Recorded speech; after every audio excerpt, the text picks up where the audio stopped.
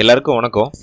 இன்னைக்கு cable termination spacing பற்றி பார்க்க போகிறோம் எல்வி சுவிட்சுகேல ஸோ எப்படி எப்படி கேபிள் டெர்மினேஷன் பண்ணலாம்? ஸோ அது டெர்மினேஷன் பண்ணுறது என்னென்ன திங்ஸ்லாம் நம்ம ஃபாலோ பண்ணணும்? அதாவது வந்து பேசிக்ஸ்லாம் ஃபாலோ பண்ணணும் அப்படின்னு சொல்லி இந்த கேபிளில் பார்க்க போகிறோம் ஸோ ஃபஸ்ட்டு வந்து கேபிள் டெர்மினேஷன் வந்து ஒரு மூணு ஸ்டேஜாக பிரிக்கிறோம்.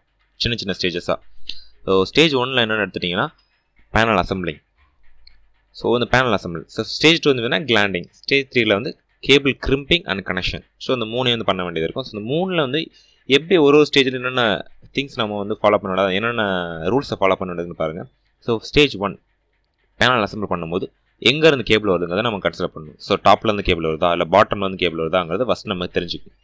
அதுக்கப்புறம் out goings so out goings வந்து எங்கே லெஃப்ட் ஹேண்ட் சைடில் இருக்கா ரைட் ஹேண்ட் சைடில் இருக்காது அப்படிங்கிறதையும் கன்சிடர் பண்ணிக்கணும். ஸோ இந்த இன்கமிங் அவுட் கோயிங் அண்ட் எல்லாமே வந்து எந்த சைட்லேருந்து வருதுன்னு கன்சிடர் பண்ணிக்கணும். ஸோ இதுக்கப்புறமா ஸ்பேஸ் எவ்வளோ ஸ்பேஸ் தேவைப்படும்? ஒரு கேபிள் கனெக்ஷன் பண்ணுறதுக்கு நம்ம எவ்வளோ ஸ்பேஸ் தேவைப்படும் அப்படிங்கிறது இந்த மாதிரி நம்ம பேனல் அசம்பிள் பண்ண வேண்டியது இருக்கும். So ten square M sixteen square M twenty five square எம்ல வந்து எவ்வளோ ஸ்பேஸ் இருந்தால் கேபிள் கனெக்ஷன் பண்ண முடியும் அப்படின்னு சொல்லி நம்ம பார்க்க போகிறோம் ஸோ இது வந்து up to three hundred six thirty square MM வரைக்கும் கேபிள் கனெக்ஷனுக்கு எவ்வளோ ஸ்பேசிங் வேணும்னு சொல்லி பார்க்கலாம். So ten to sixteen twenty ஃபைவ்ல வந்து மினிமம் டென் சென்டிமீட்டர் இருந்தாலே நம்ம கேபிள் வந்து கனெக்ஷன் பண்ணிட முடியும். ஸோ இது வந்து ஒரு ஸ்டாண்டர்டான சைஸ் தான். ஸ்டாண்டர்டான ஒரு ஸ்பேசிங் தான். ஸோ டென் சென்டிமீட்டரில் நம்ம கேபிளை கனெக்ஷன் பண்ணிடலாம். டென் சிக்ஸ்டீன் டுவெண்ட்டி ஃபைவ்ல ஸோ நெக்ஸ்ட் வந்து பார்த்தீங்கன்னா fifty seventy ninety five square MM அந்த சைஸில் வந்து பார்த்தீங்கன்னா மினிமம் டுவெண்ட்டிலேருந்து டுவெண்ட்டி ஃபைவ் ஸ்கொயர் சென்டிமீட்டர் வந்து நம்ம ஸ்பேசிங் தேவைப்படும்.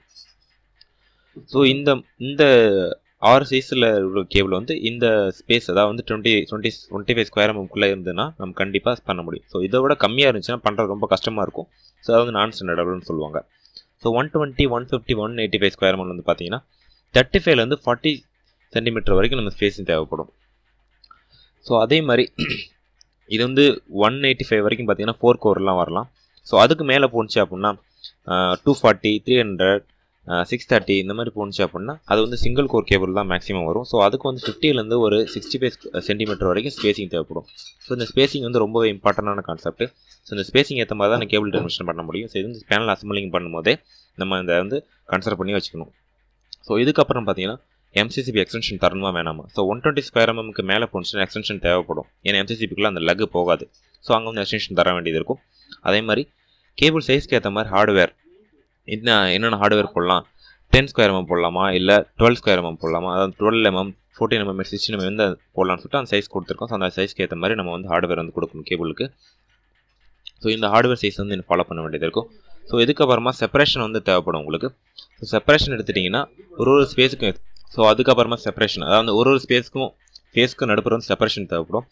ஸோ அதுக்கப்புறமா இன்சுலேஷன் அதாவது வந்து பாட்டம் அதாவது நம்ம கேபிள் டெலிமிஷன் பண்ண இன்சுலேஷன் வந்து தேவைப்படும் பாட்டம் பிளேட்டில் ஸோ இதுக்கப்புறமா கேபிள் சைஸ்க்கு ஏற்ற மாதிரி கிளாண்டிங் வந்து நம்ம ஹோல்ட் பண்ணி கிளாண்டிங் ஃபிக்ஸ் பண்ணிடணும். ஸோ இது இன்கமிங் அவுட் கோயிங் ரெண்டுக்குமே ஃபிக்ஸ் பண்ணிடணும்.